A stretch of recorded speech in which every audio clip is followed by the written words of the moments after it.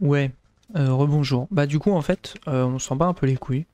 Euh, pourquoi? Parce que j'ai un truc qui marche en fait de mon côté pour l'autre.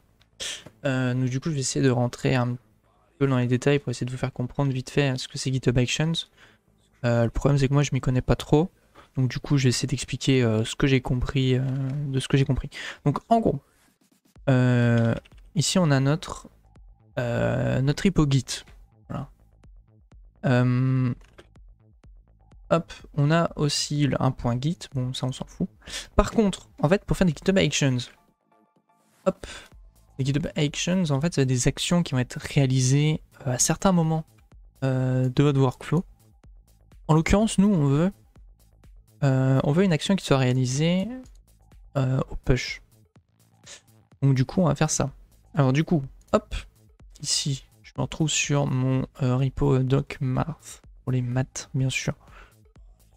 Ici, tout simplement, j'ai tout ça qui fonctionne déjà. Donc, du coup, regardez ce qu'on fait. On faire un petit copier-coller. Euh, le roi des copier-coller, bien sûr. Euh, du coup, en gros, à la racine votre euh, repo GitHub, c'est un petit mkcd.github. Ok. Et ensuite, on veut les workflows. W, W, voilà. Ouais, mon clavier est un peu cassé. Fait chier. Voilà. Euh, hop. Donc moi, je fais ma petite CI là. Du coup, en gros, dans les workflows, dans le, dans le, euh, dossier .github, c'est un, dossier euh, utilisé par GitHub pour tout ce qui est automatisation, etc. C'est là aussi où on peut mettre tout ce qui est tout ce qui est modèle de d'issue, etc. pour les utilisateurs. Et en gros, là, vous faites un dossier workflows. Voilà, faut l'appeler comme ceci. Où dedans, vous mettez, euh, vous mettez n'importe quel fichier YML que vous voulez. Vous l'appelez comme vous voulez. Juste que bah, moi, je l'appelle CI parce que l'autre est déjà, s'appelait déjà CI, tout simplement. On colle notre texte. Alors, euh, name, ça, ça va être le nom, en fait, de, euh, de l'action que vous allez voir sur GitHub. Le on, c'est tout simplement à quel moment déclencher l'action. Vous faites on, moi je veux en push, par contre vous pouvez faire ça aussi en, pull, en merge, etc.. Ensuite on va sélectionner sur quelle branche euh, faire l'action. Donc à partir de master. Donc c'est-à-dire que dès que je vais push un truc sur, sur la branche qui s'appelle master, ça va déclencher la CI. Ça va déclencher l'action qui s'appelle CI. Voilà. Ensuite on va faire des jobs. Les jobs, ça va être différentes actions automatisées par GitHub. Euh, on l'appelle deploy. Voilà. Deploy, pourquoi? Bah, Parce que ça permet de déployer. On va dire qu'on va utiliser une, machine Ubuntu euh, à jour. Et ensuite, euh, là, les steps, en fait, ça va être les différentes actions euh, séquentielles qui vont être réalisées par le job. Alors, première chose, euh, le uses actions checkout et euh, le setup Python, etc. En fait, ça c'est pour c'est pour setup euh, l'environnement. Le, checkout, alors je crois que c'est pour dire qu'on a les droits de de copier des trucs, enfin de mettre de faire une nouvelle branche. Je crois que c'est un truc comme ça. Ici, le setup Python euh, parce que pour installer mkdocs, on a besoin de Python. Ce qui est bien, c'est qu'il y a déjà des scripts préfaits avec GitHub, notamment euh, pour ça que ça s'appelle action slash machin truc, at v2, donc ça c'est juste la version actuelle. Euh, donc en gros, euh, je setup le, le repo, j'installe Python. En gros, en gros c'est ça, Python 3 d'ailleurs. Ensuite, euh, je lance la commande pip install mkdocs material qui va me permettre d'installer mkdocs material sur la machine Ubuntu. Et ensuite, euh, on deploy avec, euh, avec GitHub. Ça c'est un, ça c'est le script mkdocs qui permet de faire ça. Voilà. En gros, euh, mkdocs, il y a une commande gsdeploy-force permet de déployer, euh, euh, notre site sur une nouvelle branche. Voilà. On peut rajouter d'autres options, etc. Mais en gros, c'est tout ce qu'on a besoin. Hop. Nous revenons sur notre petit repository. Donc ici, je fais un git add ci. Voilà. Euh, je reviens à notre petit dossier. Git commit-m. Ajout de la CI de construction du site. Voilà. Et git push et le mot de passe, bien évidemment. Voilà. C'est tout. du coup, là, on va arriver ici. Ah, on dit salut à tous. On voit qu'effectivement, on a un nouveau workflow avec la CI, bien sûr. On va dans les actions et on voit qu'effectivement, on a notre action CI ici qui est, ajoutée. Et donc, euh, qu'est-ce qu'on voit? C'est qu'on voit effectivement ça s'est passé il y a quelques secondes. In progress, ça veut dire que c'est en cours. C'est-à-dire qu'effectivement, à partir du moment où on a ajouté l'action, en fait, et qu'on du coup on a push ce truc-là, bah en fait, ça, ça, le GitHub a détecté automatiquement la nouvelle action.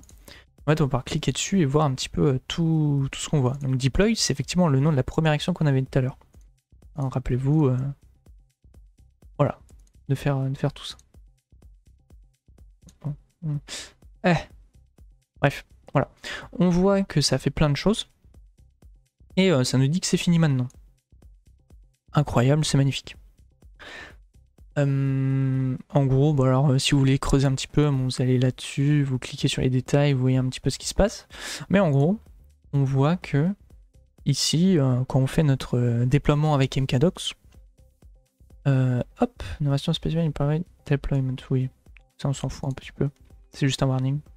En gros, c'est pour dire que, hop, vous voyez ici, ça fait un remote, voilà, pull new JS Donc en fait, ce qui se passe, c'est que il crée une nouvelle branche, il fait une pull request qui est, euh, qui est euh, tout simplement euh, acceptée automatiquement, une nouvelle pull request qui va s'appeler GH Pages pour GitHub Pages. ça c'est la commande avec mkdocs gh deploy force. Et en fait, on voit que ici, tout simplement, ça crée la branche. Ça a créé la branche. Et, et voilà ça crée la branche et ça fait notre truc, et puis ensuite bah, ça, clean, la machine et, c'est terminé. On revient ici. Et euh, si, on voit, si on regarde nos branches, on voit qu'effectivement on a la branche master, où on a notre code initial, et euh, la branche GitHub Pages, euh, qui a été générée automatiquement par notre action. Et on voit qu'effectivement il y a tout le code généré, donc index.html, machin truc, bidule chouette, c'est génial, c'est magnifique. Du coup, on, regarde dessus vite fait, on voit que bon, c'est du HTML généré par, euh, par l'action. Très bien. Donc maintenant qu'on a notre petite branche ici, qui est là, qui fonctionne bien, on va gérer les GitHub Pages. Alors, euh, pour gérer les GitHub Pages, on va dans les settings, ou dans les, paramètres de notre euh, repo. Hop, et ici, un petit onglet Pages, tout simplement. Terminé. Donc du coup, euh, on va sélectionner une source. Donc la source c'est quoi? C'est tout simplement euh, une branche sur laquelle se baser pour euh, déployer sur la, page GitHub. Donc nous, on sélectionne GitHub Pages. hop, ça on, on change pas, on fait save. Voilà. Et c'est fini, c'est tout. Il n'y a plus rien à faire. À partir de maintenant, bah, on a le, petit message ici. Hop, on, dit que, on nous dit que ça va être publié ici. On clique dessus et boum Incroyable. Notre site a été construit automatiquement. Et, euh, voilà, et il est en ligne sur GitHub. Avec les GitHub Pages. Et vous voyez que bah, ça marche bien, hein, c'est pas des conneries. C'est magnifique. Euh, on va tester un truc. On va tester si notre CI fonctionne vraiment. Et ensuite, euh, je vous montrerai comment faire un, nom de domaine euh, custom. Alors, euh, nous sommes ici. je veux modifier par exemple, je sais pas moi, Voilà. Le, fichier de la, cinématique et la dynamique newtonienne.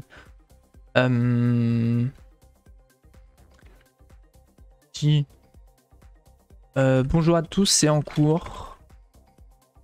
Euh, ne vous inquiétez pas, bien sûr. Ah. Euh... Tac. X, R. Voilà, c'est mieux. Voilà. Donc là, j'ai modifié un fichier. Je... Je le rajoute au Git. Je le mets à jour sur le repo. Je fais git commit -m euh, test pour le oh là, le déploiement automatique bien sûr. Oh là, je ne sais plus écrire, c'est pas grave. Et ensuite, je push. Et voilà. C'est en cours. C'est fini. Je retourne ici chez moi, dans mes actions. Je vois que ça, ça trigger, enfin ça a généré automatiquement la CI. On clique dessus, on peut regarder les détails, on voit que c'est en cours. On peut voir en temps réel ce qui se passe et ça c'est incroyable. Donc ici, ça a l'air de bien se passer pour l'instant. Et voilà, c'est fini. Donc en fait c'est hyper rapide. C'est hyper rapide et c'est trop trop bien. Du coup, euh, bah, maintenant que cette action est terminée, je sais pas combien de temps ça peut prendre à, se mettre à jour, mais c'est pas grave. On va dans les mécaniques. On rafraîchit le cache, parce qu'on sait jamais. Et voilà. Et voilà. C'est magnifique.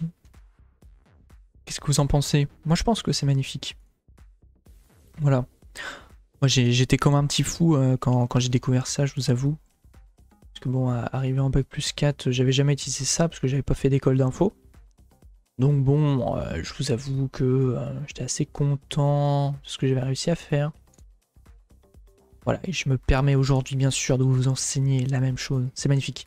Bref, voilà, donc du coup vous voyez que votre repo, bah, ici on voit qu'on a un environnement, donc pages, où bah, les gens vont pouvoir voir un petit peu tous vos déploiements. Et ça, c'est magnifique. Maintenant, euh, vu que moi j'ai mon nom de domaine à moi, euh, je voudrais tout simplement euh, non pas faire avoir cette URL dégueulasse, euh, bon, qui est pas si dégueulasse que ça, mais je voudrais avoir ma petite URL personnalisée, tu vois. Je voudrais en faisant genre ça, j'arrive tout de suite. J'arrive tout de suite sur ce site-là. Eh ben, c'est faisable avec la carte Kiwi. Tout simplement, on va pareil dans les options de la page.